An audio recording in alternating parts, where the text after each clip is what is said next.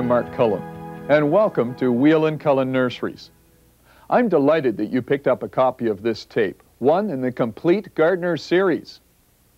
In this volume, Dan Matheson from Canada AM joins me as we walk through the garden and talk about color and design, flowering bulb varieties that provide all kinds of color, harvesting flowers from the garden at the right time of year and the right time of day, gardening for shade, and gardening for color in the fall, plus the fundamentals of landscape design.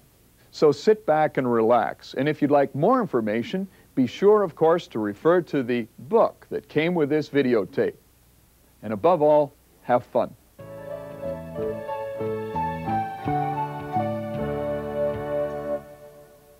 Year after year, they come back without any work at all.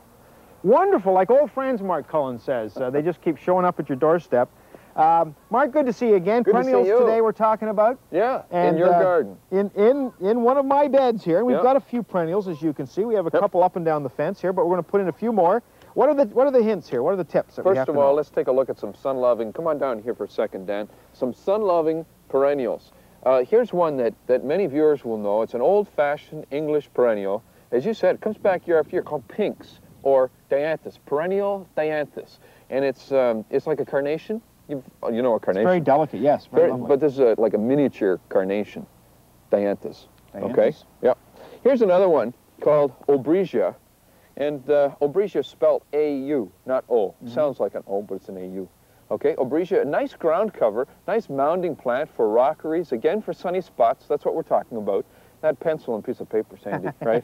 Get a paper, piece of paper and a, and a pencil, and that helps you a lot. I'll tell you, this this little plant here, I'm going to play a little riddle with you. Now, when you go to a high school dance, this is what you don't want to be. Wallflower! That's right. That's right. Good for you. I Uh, win a free trip to Hawaii. All right. One way. Um, Dan, did you had you ever seen a wallflower before? no, and I didn't know that. It's kind of orange, goldy orange color. It'll get quite high, actually. These will grow 24 to 30 inches in a nice sunny spot. Plant them in good sandy soil, well-drained soil. And that's true for just about all perennials. They really like to have well-drained soil around their roots. Don't let them sit in water, except for something like a lily of the valley, which you Oh, can't yeah. kill anyway. Likes the swamps. Yeah. This is um, eroticum. Repeat this after me. Erotigum? Is that what I said? Eroticum? Giganteum? No, this is Doronicum. It looks like a dandelion. Doronicum. All right. It looks like a dandelion, but it's not. And here's here's one. You'll have a lot of fun with the name on this one. Saxifraga. You know what it's a member of? Saxifraga. Yeah, it's a member of the strawberry family. No kidding. Yeah. Does it get fruit? No. Well, I guess it would, but I wouldn't. I don't know. Again, another know. again another little delicate flower. Really pretty. Yeah. li- And this one is self-propagating. It like a like like a strawberry. It makes these runners that go oh, out, barn, barn, barn. You know. Yeah. Like a bunny rabbit, right through your So garden. you might have to Takes a few it. years though. And here's one, of course, you can't forget. Once you've heard it, forget me, Me not. not. Right. This is a perennial forget-me-not. Doesn't grow very high. It's not very aggressive. Loves the sun, and it only blooms for about two to three weeks. If you want it to bloom all summer, then you buy the annual forget-me-not, which you would purchase as a seed, like in a packet of seeds. Sow it in a nice sunny spot. Again, well-drained soil. Add some nice Canadian sphagnum peat moss. Helps a lot. Let's put them in the ground. All right, let's. We're going to do a little bit of planting right here. Um, we've prepared your soil again this year, uh, and this is an annual rite of spring. You have to do this because soil depletes, you know. We had annuals in here last year. Remember Yes, the begonias? yeah, yes. They look good, didn't they? Yes, they did. Yeah, but they're gone now, and of course they're gone for good because they're annuals. But perennials, as you mentioned, come back like old friends. So put a nice, generous layer of peat moss over the surface of the soil. This is nice, friable soil to begin with. You know that word? Am I in your way? Oh, I do know. No, yes. Actually, here, take I learned that from you. That means it falls apart in your hand. That's right. Sure, I'll Just turn I'll get- that over, all right? All right. Turn that over, and we'll plant. Uh, we'll plant a uh, forget-me-not. We're going to slide it out of the pot. Make sure you do that. Just poke the bottom, and uh, get the soil surface fairly even, and down you go. All right, just like so. And once again, I say this all the time, Dan. Give it lots of oomph. Yes. Oomph. You okay? stomp them right in, don't you? We've got to take a look at a couple of perennials for the shade. Now here's a spot in between a couple of rather large shrubs and there's some trees up there, so we have lots of shade here. And Mark, we've worked this area already. I'll just, uh, I'll do what, you know, the manual labor at the back here. with All this right, peat. all right. You still got the pencil and piece of paper. Mark down for shade, hosta. And this is a family of over 160 different varieties of plants. Absolutely gorgeous plants that grow from, oh, gee, I don't know, about four inches high up to about three feet high, um, depending on the variety you choose. And they're very rich looking. Well, they are. And, and they're very insect and disease free, unless you have slugs, because slugs love hosta. Okay, and back here, Dan, just a sec, could I grab that? Sure. This is Astilbe. Now, Astilbe, excuse me just a minute, I'm speaking to you. Astilbe's got a, a gorgeous flower that grows about so high, and the nice thing about this is that it flowers for about eight weeks every year. So it not only comes back like an old friend, but it flowers for a long period Well, why don't you let too. me put that in this hole here, and you show the folks uh, a couple of uh, little couple of pots you got there. wildflowers down here, little bloodroot here, little bloodroot, and of course this, people in Ontario will know, as many other provinces, this grows beautifully, it's the trillium. And uh, you can get these nursery grown in the garden centers this time of year. Plant them in a shady spot with lots of leaf mold or compost around the root zone, okay? Thank you again, Mark.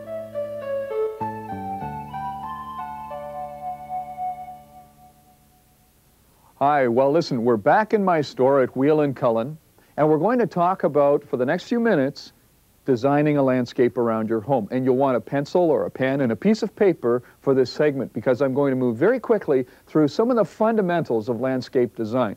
And the first thing I'm going to suggest is that you take that pencil or the pen and piece of paper and make a list of the uses you wish to make of your yard space. The front yard should be one list, and the backyard should be another. Consider such things as a private place to perhaps read a book or some, for some privacy. A place perhaps to entertain out of the wind, consider that, or a place for a barbecue, a deck, or get this, if in your long range thinking you may like to put a swimming pool, put that on your list. It will det determine to a very large degree the kind of landscape that you're going to create for your yard, front or back. This is very important stuff. Do you want a lawn? Now, before you get to a question like, do you want a lawn or do you want flowering shrubs? Do you want a play area for the kids? I have to say, one of my own personal biases is that the best ground cover is a lawn. And that's really what it is, the most sophisticated ground cover known to man. It takes foot traffic and it takes a lot of abuse. So kids can be tolerated by a good lawn. Make sure you keep that on your list. Do you want to attract birds and wildlife to your yard? Add that to your list as well. Got the idea? Okay. Now you've got your lists. Let's talk a little bit about some of the very basic principles in landscape design and start with the most unusual thing of all in this ergonomic world that we live in, a square or rectangular shaped lot. Okay? First thing that people almost always do or want to do is place a shade tree. If this is your lot, and let's say this more or less is your house and a driveway, the placing of the shade tree is absolutely critical to the long-range plan because while everything else about your landscape can be changed fairly easily, flowering shrubs, evergreens, perennials, certainly annual flowers and vegetables, all those things can be moved around. The shade tree as it matures cannot. Let's just consider the fact that it probably cannot. Now, the first thing you should not do is put it right in the middle of the yard because if you do that, you effectively cut the yard in half. You've eliminated play area or open space, or just simply a place where you can enjoy some open space. So consider the corners. Perhaps here, perhaps over here, which raises the next question, shade. Do you want shade in your yard, and if so, how much? Consider, and this is very, very important, where your house is located in the lot relative to the sun. If this is south, then you've got a real hot wall right here. Consider whether or not you want to cool it down. And if you do, put vines on your list as something that you want to use in your landscape. Okay, the next thing you want to do is use a lot of curved lines. And you've probably noticed if you're looking around your neighborhood that landscape designers tend to do a lot of this. And there's a good reason for that, and I'd like to get to that right now as we concentrate on the front yard. So let's take a look at the elevation of the front of your home. And you'll notice it too, just like the plot plan, is very cube-shaped. A lot of straight lines. All right, let's put a fire in the fireplace. Why not? It's a lovely warm place to be. And here is your garage and the driveway. All right, so something about a home that I think is particularly unfriendly until it becomes landscape. That, by the way, is your garage. All right, and that's the front door of your home. Now, let's get back to curves. All right, This is very important to understand, that if you put something like this at the front of your home, which is a nice curved bed, which you're probably going to fill with evergreens. You've noticed that junipers, cedars, mugo pine, and euonymus are, are used in Canadian landscapes pretty consistently coast to coast. And the reason for that is that it provides something visual, something really exciting all year round. Even during the cold Canadian winter, there are no leaves dropping off and the naked skeletons of plants exposed and exposing your house for what it really is, which is a cube, right? So that's why evergreens are being used so much in home landscapes. And of course, the type of evergreens you use is not something I can get into right now. But what I can do is suggest that if you take if you take these curved lines and you can play with these not just on a piece of paper, but if it's the time of year where you can get out of doors, then take a garden hose and place it on the ground in such a way that you can see where the garden bed can be cut turn it and change it until you're happy with it. And make sure, of course, that you've got somebody out there with you whose opinion is important to you. That could be a wife or a husband or a partner or a kid, but make sure that you've got that other opinion before you actually cut the sod out and you create this new bed. That shade tree, whatever you do, don't put it in the middle of the yard. Otherwise, you know what happens? This. You end up with a house that looks like it's inhabited by a bunch of people who really have a privacy thing, who really don't want to be bothered. And that's not the point. Your home should be the kind of home that makes you feel good when you come home to it. And also, it should be a place that when neighbors or friends come to visit, they feel welcome there. And you can accomplish much of that by adding color to your landscape. So consider perennials, flowering shrubs, for permanent color, reliable color that comes back year after year. Lilacs, peonies, lilies, the list is almost endless, in addition to those evergreens. So the evergreens, absolutely, have a few in there because of their permanent nature. Add the color because it warms up your house through the gardening season. And of course you want to use annual flowering plants. Petunias, the most important or most popular annual of all times, of course, is the impatiens in sunny or in shady places. That's in shady places.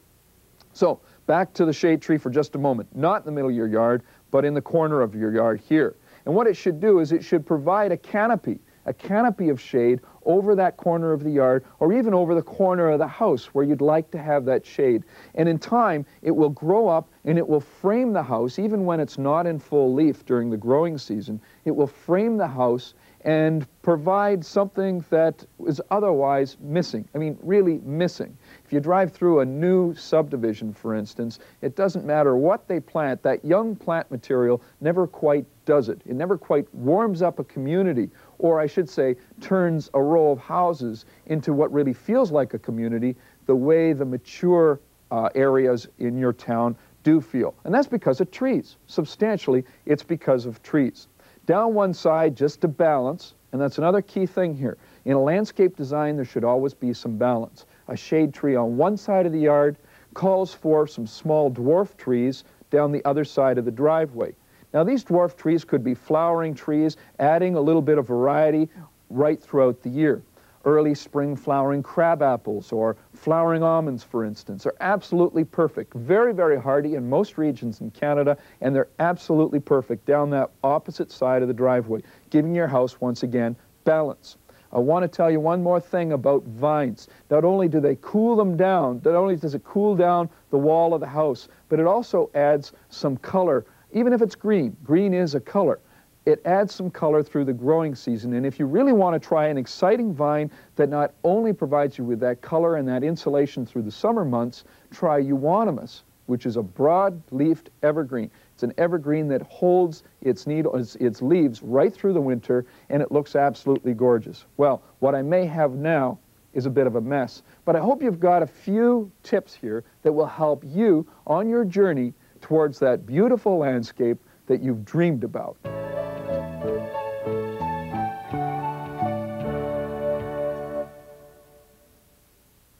First thing you want to do is determine what shape the bed should take. You might take the garden hose out of the garage, place it on the top of the sod or in the top of the lawn area, and look at it very carefully. You might involve some members of the family in this decision. And once you've got the garden hose in such a configuration that you know you're going to be happy with the bed in that shape, then you take a good sharp garden variety spade, which by the way, you've sharpened up using a good metal file. Really important to start with a good sharp spade in the first place. It makes the job easy. Now, once you've established the shape, take the spade, place it on the sod, and you're going to have to jump right on top of it, give it the full weight of your body to cut through the sod, which probably has been there for a number of years. Just like that. Now, we're going to go all along here, creating the shape of the bed by cutting it with this spade, and then we're going to turn this, we're going to take the sod, shave it off, and put it to one side.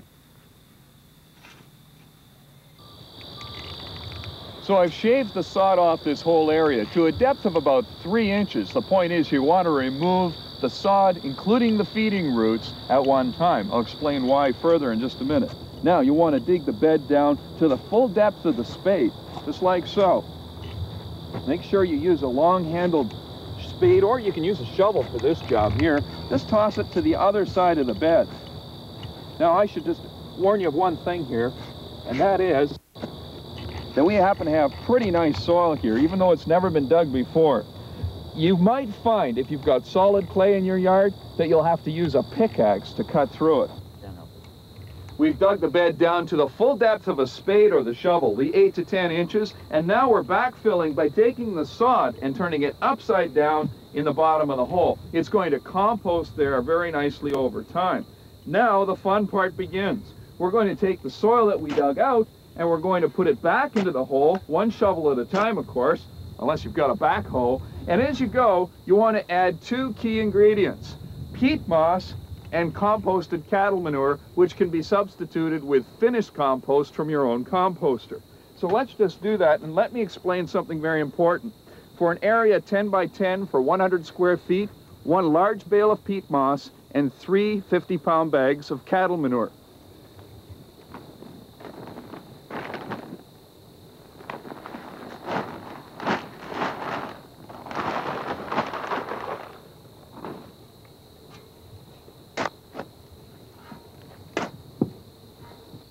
Now you've made a special effort to prepare the soil. Let me remind you of one thing. 90% of the success you enjoy in your garden will come from the work that you invest in your soil. Now time for planting. We're going to fill this bed up with some color. I'm using an annual dianthus right here, along with some impatiens, which will thrive over the next while. Put them in the well-prepared hole, and put the soil around it, and firm it down. Really give it some umph. Get in there, and what you want to do is get the root mass of the plant in firm contact with that soil so that the plant knows it's time to make a new home. That means make new roots. Once it's planted, you want to take 5-15-5 transplanter fertilizer, add it to water according to the directions, and then water it right in. For the balance of the summer, you want to make sure that you fertilize all of your annual flowering plants with a good water-soluble fertilizer like 15-30-15. This Miracle-Gro is just perfect.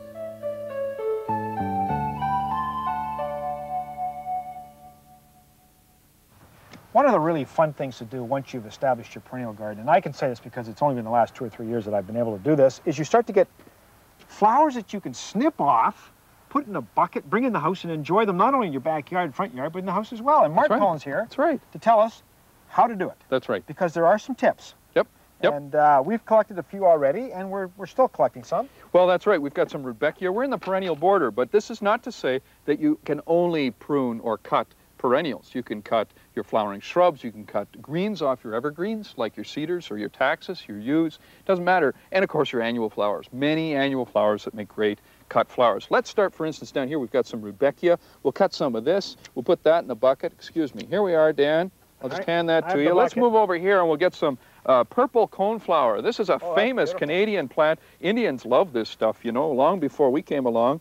And uh, there we are, purple coneflower. It's an absolutely gorgeous thing that really lasts, and you can dry it as well. And over here, finally, I want to talk about Shasta daisy, such a reliable perennial in the garden. These are not at their peak. They're actually about a week off their peak, but there's still some flowers in here we could We're cut and add after the peak here, huh? a week after the peak. We're on the That's- downside. We're on the downside. Much like Mark and myself, actually. you can speak for yourself, my friend. Now, all right, now we've snipped a few flowers, and that looks yeah, easy enough. and we've got lots more. But but there are things. Uh, you were telling me the time of day is important. Oh, yeah. As a matter of fact, if you can do this in the morning, say before Canada AM, that'd be good. Ah, that'd be All good. right. Or in the evening, of course, when the air is still, but more to the point, when the plant sugars have kind of retreated back to the plant. In the heat of the day, the, the, the, the plants are under enough stress under the heat of the sun, with almost all flowers, the exception being roses. Roses like to be cut in the middle of the day. All other flowers, I would say, early or late. All right. Always cut the stem on an angle, and I'll explain why when we get indoors in just a minute. Why? I'll explain why when we get indoors in just a minute. Well, you've piqued my curiosity Well, now. uh, stay peaked, my friend. We're going to go indoors. Oh, all right, and, and All right. water. Oh, Uh, just any old water you no, throw I'm 'em in? glad you asked. It This should is- be warm. All right. It should be heavy. You should put like three or four inches in the bottom of the of the pail, and take the pail with warm water. That's just lukewarm, not hot water, out into the garden with you. So when you cut, you plunge them directly into the water right away. Don't gather an armful and take them to the water. Gather them a couple of stems at a time and plunge them as you go. Okay. and then once you got them in the bucket, it's time yo into the house and away That's we right. go, right? Let's go, my friend. So I think for a lot of folks, the empty vase is pretty intimidating. Uh, where do you start? Well, you start with a foundation, like building a house, only not quite, only from the beginning. Huh? Green goes in first, and you notice I kind of weave them four or five together. Nice long stem. You might even strip the foliage off the bottom half if you find the vase is filling up too quickly. I like a nice broad mouth to my vase, by the way, when I get going with this thing. Um, now, filled it with the foundation, then that's just greens, can be greens of any kind, use your imagination. Then the tall stuff, get in there with some glads, uh, gladiolas that is, get in also with some larkspur or annual, biennial uh, delphinium. Uh, also available for gardens, loves the sun, gerbera, the coneflower that we just cut out of the garden, and more. Let's get to Liatris, for instance, this fantastic perennial which is reliably hardy in most parts of Canada. Just grow it in some sunshine. You'll have no problem with it whatsoever. Okay, how do we finish this guy? Okay, then we finally we put in a little bit of this, which is one of my favorites. This is uh, Cosmos, all right? And it's one of several different varieties that you can put in, um, as well as Astilbe. Did I happen to mention Astilbe? I know I've got a little in the arrangement at You- this stage. You, haven't mentioned yet why we have to cut on the diagonal. Oh, we have to cut on the diagonal to, you're right, uh, to uh, expose as much of the flower stem as possible. And the more it's exposed, then the better the flower's ability to suck up water. oh, the and by longer the it will stay vibrant. yeah, that's right. You want to make sure, too, that you recut when you come indoors, folks. You cut them once when you're outdoors, plunge them into a bucket full of warm water, tepid water, bring them indoors, recut them again. Also, Dan, this is important. You want to make sure, why don't you just keep going here? I think you've got the idea. Well, Well, I explain another don't- couple of things. Now, you don't, I don't have any idea. you don't, you don't, you don't have time here for me to just explain. This is all we have time for is for me to explain that you change the water every day, and if you're really ambitious about this, you'll take the arrangement, put it in a cool part of the house during the nighttime, all right, before you go to bed, into a fridge. That's Really? great. Just move some of the beer aside, and and finally recut from time to time as well, and replenish this thing. Some of these flowers will last real well, and others won't last so long. So. Final, final touch, you've got the idea. I knew uh, you really don't need me at all. The baby's breath. We got this fresh out of the garden, and that's the Mark finishing touch. I grow my own baby's breath. Yeah, you bet. It's Now- a cinch. Is it small twigs? Like, would you break off? Well, no, you know what I do? I take it like that, and I and I just take my The whole finger thing? and I just shove it. Jam it in All there. right, and that's not florist talk, by the way. Just No. shove it into the water, and away you go. I am not a florist, but I love cut flowers indoors all summer long. Ta-da! Not bad for like two geeks from the Even we can do it.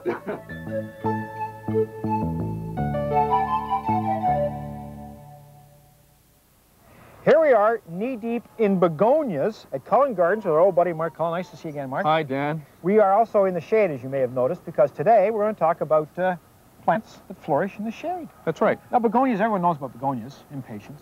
Well, just about everybody does. Yeah, that's right. But one thing you know for certain is that they die with a frost, so they're a great spring-planted plant. But this is the time of year really do a lot of landscaping with permanent nursery stock that is hardy, of course. You can plant now. It'll make it through the winter very nicely and come back next year. And in the shade, there's a whole family of yews. Have you seen these before? You yeah, familiar with these? I these? actually have a couple of these myself. Well, yews, as you may know, that's the common name, Y-E-W, by the way, not y, not Y-O-U, um, Yes. as in I-O. it's got nothing to do with that. Taxus, sometimes called taxus. Uh, the yew family is huge. And what we're looking at here is a small Japanese upright yew, which is great because it prunes, it prunes so nicely and it's very versatile. Sun or shade, all the yews. Holds Yeah. its shape. There's a globe yew in front of us, and if you want a lovely yew for a hedge, try Hicks yew. H-I-C-K-S. Use easy. Yeah. Now over here we've got uh, hydrangea. Good for Let's, you. let's go take a look. Yep, great in the shade. Let's do that. And Dan, there's one more thing about the Japanese yews and all the members of the yew family I wanted to tell you is that they don't like wet feet, and that's why they're so perfect for foundation plantings under the soffit or the eave of your house. So you want to keep them dry. Well, now what about Yep. the hydrangea? Uh, do they are they as fussy?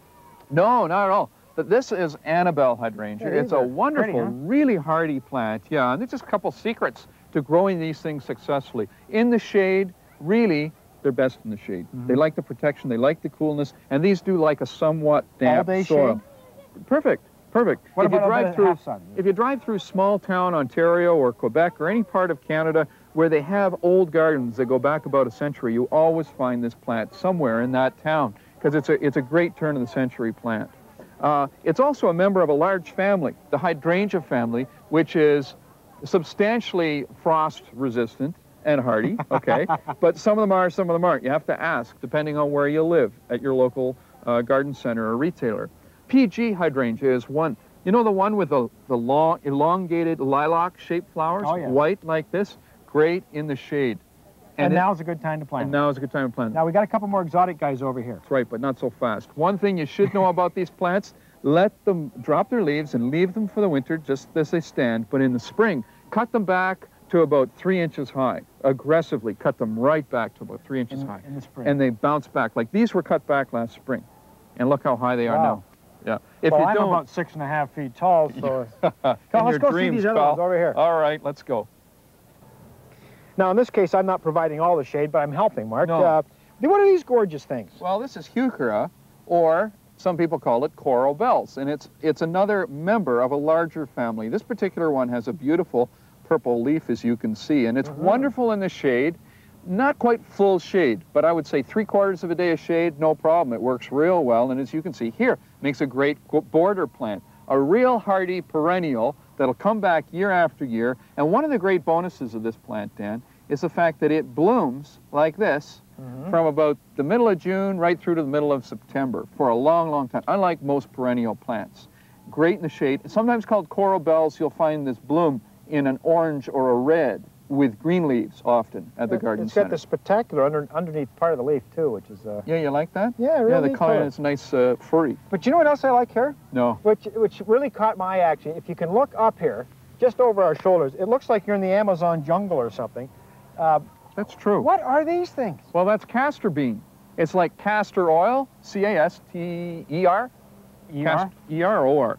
And I don't know. how, how many years does bean. it take to get this tall? That's an annual plant. That thing, I mean, what they do, actually, you know, No. hockey sticks are made out of these things. Right, that's true. Most hockey sticks are made out of castor bean. I'm kidding you, of course. They're made out of ash. The castor bean grows so tall that you could make a walking stick out of it at the end of the year. of me, actually. no, it's a wonderful plant that grows that big in one year. But remember this, folks, it's got poisonous seeds. So be careful with it. If you got kids around, grow it, but remove the flowers from the plant as they're produced, just so it doesn't go to seed.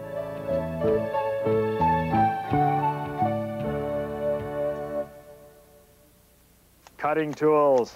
Looking forward to this one. Morning, Mark. Hi, Dan. nice to see that you That doesn't again. mean we're not going to put you to work, you know. Ah, darn. Actually, I just kind of like, it's kind of a macho thing, all this stuff, you know, these prune, this is a pruning saw, That's right? a pruning saw. Yeah, don't use a crosscut, okay, guys? Don't go down into the workshop and use the crosscut. That buy yourself one of these. It's not that expensive, you know. And it, the difference is that it cuts both ways. Sometimes these are referred to as green wood saws, but we're going to get to that in a minute. I don't need Okay. one right now because I'm pruning this cedar. What would you call that? Snippers? Snippers, hand pruners to Hand some, pruners. and to my dad, they're secateurs. You know, I don't. I think that's an old British. Is that like a non sequitur? this would be a non sequitur, this guy here. Uh, yeah, right, right. Uh, th these, I would call these uh, pruners, hedge, Pruners. hedge pruners, Hedge Uh, clippers. hedge clippers. That's good. Today we're doing pruning, and uh, right. now a lot of folks have cedar, uh, and they do get a little unruly. That's right. Well, you know, cedar grow from coast to coast. You can be New- Newfoundland right out to uh, British Columbia, where they're probably pruning right now because as fast as you prune cedars in British Columbia, they, They grow. keep growing. They grow. You finish at one end and then you got to start the other. So the thing about cedars that's interesting and I think worth noting is that they grow consistently from the beginning to the end of the season, more or less. Unlike most evergreens, which spurt so you can stop. you can do it anytime you want. anytime, anytime. That's Can, why I was working when you were talking. Can we make this one look like a duck? Why? yeah, you could. You can make it look like anything if you like, actually. Um, but the question I think most people like to ask is when, and I think the answer is for cedars, anytime in the growing season, even in the middle of winter. I mean, if you're inclined, you could prune them in the middle of winter. Do they grow all winter? No, I don't know why you'd prune it in the winter, but you could prune it in the winter. All right. Okay. Um, but for shape, you know, people want to know why would you prune? Why do, should you prune a cedar? Generally for shape. So you don't need the hand pruners that you've got right here. Hang on to those for a minute, and you just simply give it some shape by simply doing this. But it's important, Dan, that you do this every year. You know why? No. Because if you don't, they get woody, and if they get woody, this becomes one heck of Oh. a job. Yeah. Get this guy out. He's going to lose a couple fingers for sure. Really. Well, look, we, we should probably move on. Yeah, Uh, Yeah, what we else should. we got here? Okay, prune for shape. This is a high bush cranberry. It's a really hardy shrub. It attracts birds. It gets real nice red berries on it. They don't eat them. They're just attracted to them. Nice green too. It's nice green right now. And uh, I prune the high bush cranberry once every two years. Uh, and when I do, if you don't mind, I'll just borrow these. If you could just hang on to those. You prune, first of all, you thin it, all right? Unlike the cedar, or junipers for that matter, you want to thin flowering shrubs and not give them a bowl cut, you know? When you're a kid, your mom Yeah. put a bowl on and then cut your hair. The bowl cut's the Don't easy do one to do. That's the easy You one. you could- This one, You could take this guy and just cut off all the loose ends. reach down into the middle of the plant and pull out, cut out about a third, about a third of the plant at a time, all right? Wow, so that's you a big reach chunk. down, you get right down in there, and you prune it out. Now you might ask, why? Why? Because, I'm glad you asked, because, because you want the sun to filter down into the middle of the shrub and you want the air to circulate through. Why? Because that helps to encourage new growth down in the middle. Now, if you give it a bowl cut, and you've all seen this happen, all right? Mm-hmm. Your neighbor probably cuts his shrubs that way or her shrubs that way. You're not going to do that. If you look at a shrub that's been bowl cut, you pull that foliage apart, what do you see down in the middle? Wood. Wood. No leaves at all. None. So you want to encourage growth So down in the on middle. top, thin on the bottom. That's right. So you've given it a nice thinning by removing one third of the wood every two years for most flowering shrubs. Lilacs, purple sand cherry, uh, Russian olive, you know, the list goes on and on and on. Then after you've done that, it's still a little bit unruly. You need to keep it under control, and that's where these come in. So this is, Dan, this is discipline for plants. It's a little bit like kids. And you, have to, you just have to make the plant understand who's in charge. You're in control. Make sure that the plant understands that. When do we get to use this? Right now, we're going to go cut a limb, a and I'm going to put you to work out that This way. way? All yeah, right. Got to find a tree. Hey, it's starting to drizzle, Mark. So uh, Yeah, so let's get to work. Let's get underneath this here. tree here and. Uh, This is a lovely uh, Norway maple.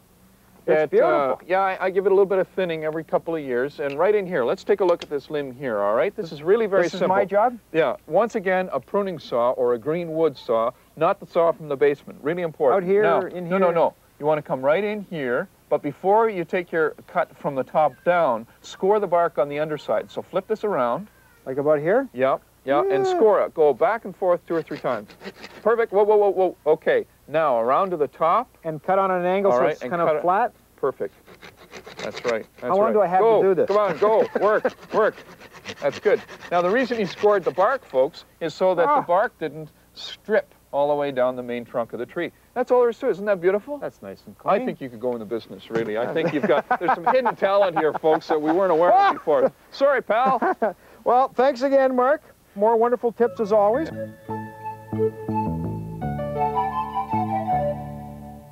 Today, Mark, we're going to talk about putting some color in your fall garden because, Right. I mean, let's face it, the perennials are starting to look a little tired at this time of year. And you can't put annuals in because of frost at night. That's right. So we're going to start by planting fall asters. Uh, why asters? Well, these these plants bloom right through the hard frosts of, of early late fall, depending on where you live in Canada. So they're going to bloom right through until the end of October. That's why asters. You don't have to put up with a garden that's colorless when the when the leaves are finished or when the flowers are finished. Uh, are you going to crack that open? I- we I need see- some I new see- soil for I this see bed. we've already dug a hole. Yeah. This is Dan this stuff? working. You don't get to see this every morning on Canada AM. All right. Very good. Now this is, don't uh, super rich stuff. don't sprinkle it. This is like a triple mix, really. It's compost and, and topsoil mixed together. We call it grow mix.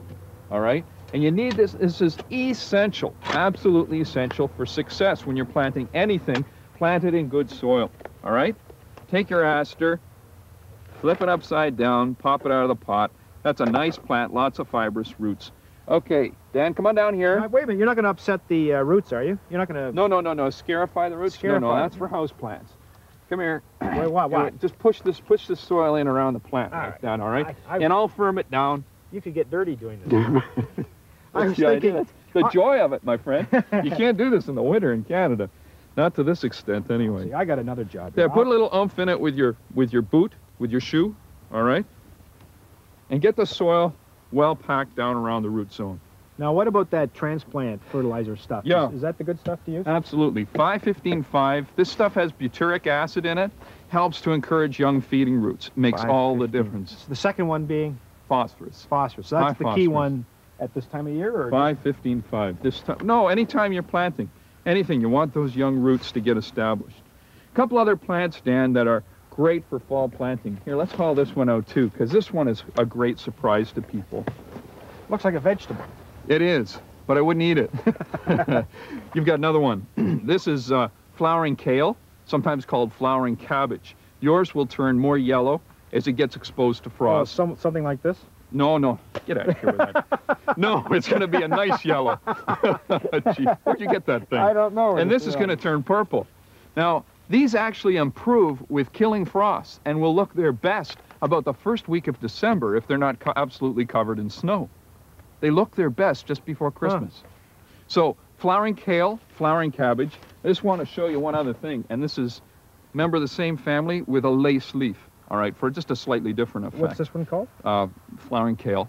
Oh, Okay, it's same just family. A cousin, huh? It's, it's it's a cousin with a lace leaf. Isn't that fabulous? Beautiful. And you can you can plant these in mass at the front of your house or wherever you like, and get color when most of your neighbors probably assumed that the garden had to be put to bed, Yeah. which it did. Well, a lot of it looks that way. That's that's for sure. Okay, chrysanthemums. We haven't talked about chrysanthemums. You want to haul out a nice yellow one there. These are in full bud right now, and they're going to be absolutely gorgeous plants. Just about the time the impatiens die down in your garden. Which will These be are the good. first frost, won't it? Yeah, yeah, first week of October where They you just live. Lie down and die. That's right. But these will break bud. They'll break out into full flower about the first, second week of October, continue to bloom for another five to six weeks. So what do we do? We just space them out as if they were uh, annuals in the spring. Well, sort of. We'll place uh, aster, aster, and three cabbage. How about that? Perfect. Now we plant these all, just exactly the same way with rich Just- soil, tamp them down really firm. That's And right. And then water them apply, really well. water them well with a transplanter fertilizer, the liquid that you uh, mix with water. So we're halfway there in our planting. We just thought we'd take a moment maybe to really water in and fertilize the ones that we've already put in the ground. But Mark, as we're finishing up this garden, maybe you can just tell the folks at home if they missed it the first time, the three major plants for right. the fall. Chrysanthemums, hardy chrysanthemums, not the florist mums you buy in a Mm-hmm. flower shop, but the hardy ones you buy in the garden center. Fall flowering asters and flowering kale or cabbage. Well, right? why don't you water and fertilize? All right. And thanks a lot. Yeah. Always a pleasure. Always learn something new. I'll start digging over Me here. too. and folks, Dan. look at how much color and freshness has been added to this garden. Spectacular stuff, Mark.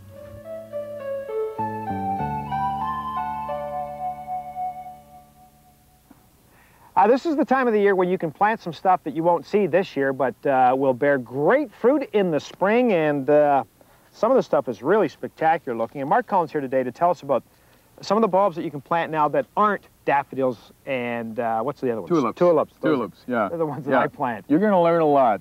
I think you're going to learn a lot. Uh, these are some exotics here. Well, as a matter, you could call them exotics. This one that you picked up, for instance, fr fritillaria.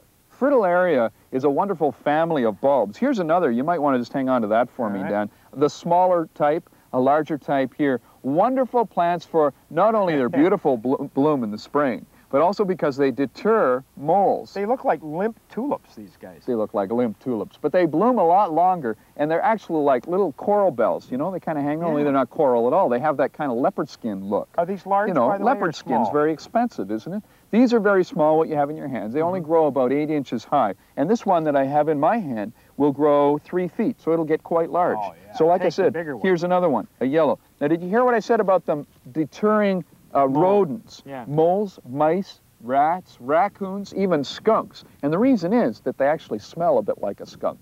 That is, Oh. the bulb does. Not the flower, the bulb. But once it's buried in the ground, Dan, you don't smell them at all. This kind of has a daffodil yellow to it, huh? Yes, it does. So does yours. This is a daffodil. this is actually a little dwarf narcissus. All right, we're moving on from there. We're going to talk about little dwarf narcissus. Isn't that a pretty little thing? Very pretty. Yeah, otherwise Wait a what called. do we get here? Have you heard of jonquils? You get about six bulbs for four bucks. Well, that's right, but they're specialized bulbs. The Dutch are doing an excellent job of kind of expanding our minds and the possibilities in our gardens for color in the spring. You can count on these small bulbs, these minor bulbs, to bloom early. They're really, really hardy, and some of them actually go right back to the origins of the bulb, which was in Turkey over 400 years ago. No What you're holding in your hand, for instance, is a Turkish bulb, and it's a tulip. The tulip started in Turkey in the foothills of the mountains there. And this is tiny as well. Only gets up very- to six inches high. Oh, very tiny. And they come back year after year, extra early bulbs. soon as the frost is out of the ground, they really look great. Just look at these. Aren't they neat? Now, what are they? These look like daffodils, but again, they're No, that's, again, that's, that's, um, that's uh, another type of uh, tulip. All right, Wow. you with me? Yeah, All right, am. now, Yeah, this is a little crocus. Look at the stripe in that Wow. crocus. You just don't see those every day. And that's, that's what I mean about different. You're getting this out of Holland now, which we, we didn't so many, so many years ago. It was the typical tulip and daffodil, And this only goes four inches high. It only Right. gets that high. Right. So Plant it by your front tiny, huh? door. Put it in containers if you're in an apartment or a condominium and put them outdoors for the winter. They'll survive quite nicely. Just keep them wet through the Mm-hmm. winter. And uh, if you're in a house, then plant these near the front door so that as you come to work early in the spring, you've had it with winter at that stage, these greet you at the front door. And they're wonderful. Yeah. Try some hyacinth for the same reason. So a novelty bulb for the kids. Look at that. You know what that is? No. It's an onion, but it's not a garden variety onion. It's an allium. It's an allium giganteum or hardy, giant, ornamental onion. And it's a beaut. It's also a family. You know how chives look when they're in full bloom? Excuse me. Sure, bless you. Here's, It's an here's, onion, huh? here's the, Supposed to here's- make you cry. yeah, we haven't cut it yet. Don't cut it. Plant it. Plant bulbs three times as deep as the bulb is thick, as a, as a general rule of thumb, by the way. Another onion, and uh, it's just a, It shorter, does- this looks like chives. a shorter flowers. variety, the same thing. Chives are a member of the onion family. Also for color, anemones, people have a hard Oh, they're time. beautiful. Yeah, aren't they gorgeous? Yeah, and here's one of my favorite. This is, uh, this is sometimes called foxtail lily. Mm -hmm. Yeah, you can And ask it's for it as lily? foxtail lily. No, it's not a true lily. But when this blooms in my front yard, people walk off the street and they say to me, "What is that thing?" like they've never seen anything quite like it. Foxtail lily. It's And how- really how tall does it grow? Oh, it'll grow six feet tall. Yikes. But really hardy. Any part of Canada, save except maybe the Arctic Circle, these things grow just fine. So minor bulbs and different bulbs now available from Holland. I should tell you one other thing, and this is just between you and me. You've got to get in there. You've got to get in there soon to the garden center to buy these things because there's only one tr- only one boat comes from, Ho- and when they're gone, they're gone. Oh, They don't go so back that's, for more. That's a good tip. That's not blatant self-promotion. No, it's not. It's wherever you buy your bulbs, do it and do it soon. I hope you enjoyed the information in this tape on color and design in the garden. And remember, there's lots more information in the companion book. Thanks a lot for joining me.